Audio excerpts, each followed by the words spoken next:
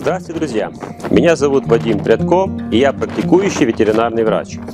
Сегодня мы со своим коллегой Анатолием Петруком, тоже ветеринарным врачом, находимся на крупном предприятии по выращиванию овец молочной породы Лекон. Сегодня наша задача – это провести плановую дегельминтизацию у овец.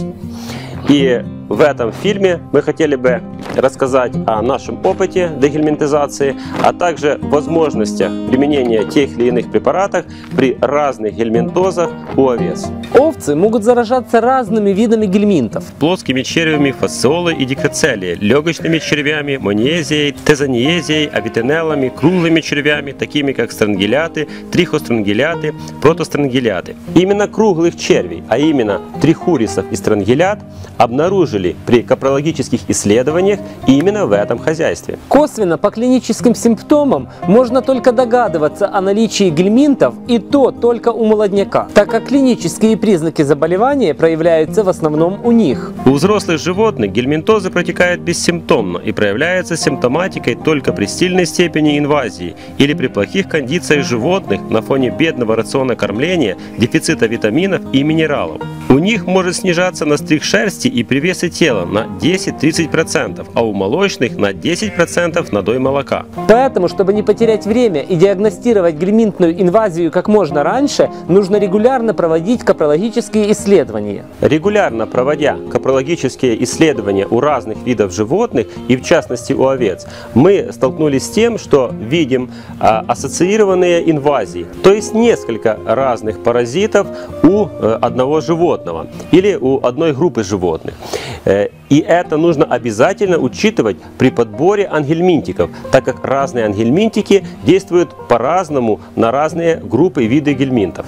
Имея на руках результаты капрологических исследований, вы можете подбирать ангельминтики и способы дачи их животным. Здесь играет роль чувствительность паразитов к тому или иному препарату, количество поголовья, возможность использования смешивания препаратов с комбикормом или дачи их орально с помощью шприца-дозатора или в виде таблеток и, наконец, возможность использования инъекционных форм препаратов и шприцов-автоматов для обработки животных.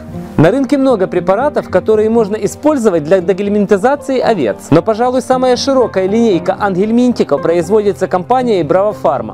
Давайте же ознакомимся с этими препаратами, а также методами их введения овцам. Бровермектин 1% инъекционный и 2% выпускаемый в виде суспензии для применения на воду. Действующее вещество ивермектин.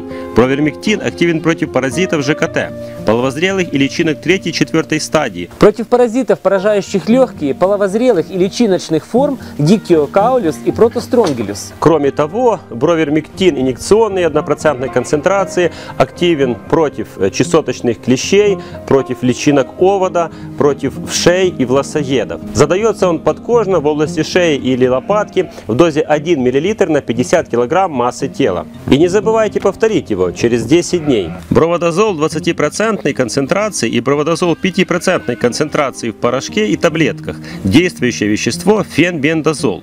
Активен против диктиокаулеза, мониазиоза, тезанизиоза, трихуроза, дикроцелиоза, неоскароза, стронгилоидоза, эхинококоза и ценуроза. Броволевомизол 8% инъекционный и порошок содержит действующее вещество левомизол. Препарат активен против нематодозов желудочно-кишечного тракта и легких. 1 грамм на 10 кг массы тела одноразово. Инъекция 1 мл на 10 кг подкожно также одноразово. Бровализен суспензия, порошок и таблетки, содержит действующее вещество альбендазол.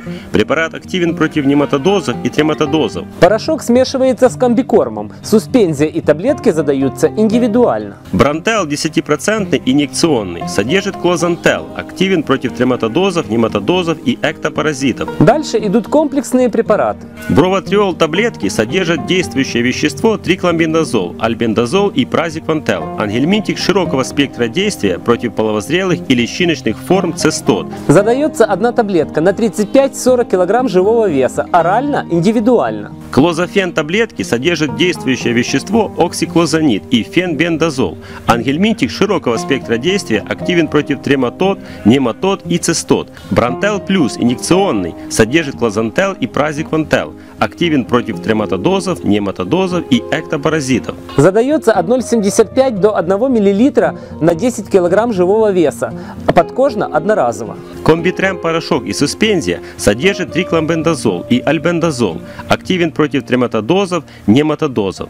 Особенностью этого препарата является то, что он активен против личиночных стадий трематод, что очень важно при ранней обработке против трематодозов уже в сентябре месяце. Задается в дозе 0,75 грамм на 10 кг одноразово орально. Рафензол суспензия содержит рафоксанид и фенбендазол. Применяется при трематодозах и нематодозах желудочно-кишечного тракта и легких, вызванных половозрелыми трематодами, парамфистоматида и их личинками старше 6 недель. Трематозол суспензия содержит оксиклозанид и пирантел. Применяется при трематодозах и нематодозах. Этот препарат, так же как и комбитрем, применяется для ранней обработки против трематодозов в начале осени. Друзья, ответственно относитесь к своим животным. Регулярно проводите капрологические исследования и по результатам этих исследований проводите дегельминтизацию ваших животных. Берегите себя. До свидания.